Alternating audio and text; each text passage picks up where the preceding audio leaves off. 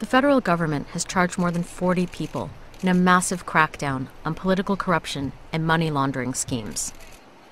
Most of the people are New Jersey politicians and public officials, as well as leaders of the Jewish community in Deal and Brooklyn.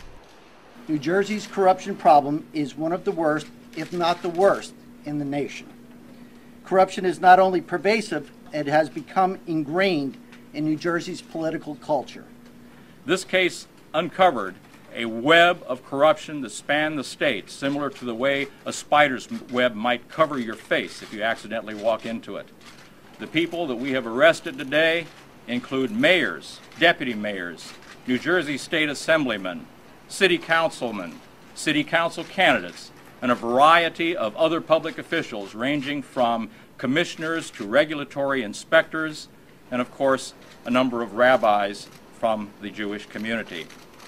The list of people we arrested sounds like it should be the roster for a meeting of community leaders. But sadly, they weren't meeting in a boardroom this morning.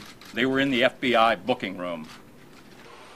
The star of this investigation is the collaborating witness, a CW in cop speak, who is only identified as a businessman and real estate developer who worked with the government for the last few years.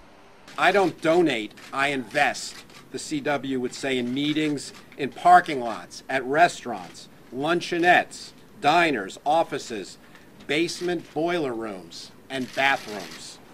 And the politicians willingly put themselves up for sale. Hundreds of thousands in bribes were paid in those places. Our CW routinely had his proposed projects moved to the top of some official's pile because he paid off. Hoboken Mayor Peter Cammarano was arrested only three weeks after taking office.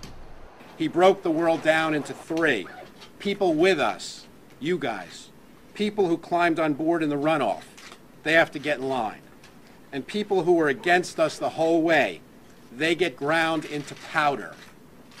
On June 23rd, when the CW offered $10,000, Mr. Cammarano says, Great. And we're going to be friends for a long time.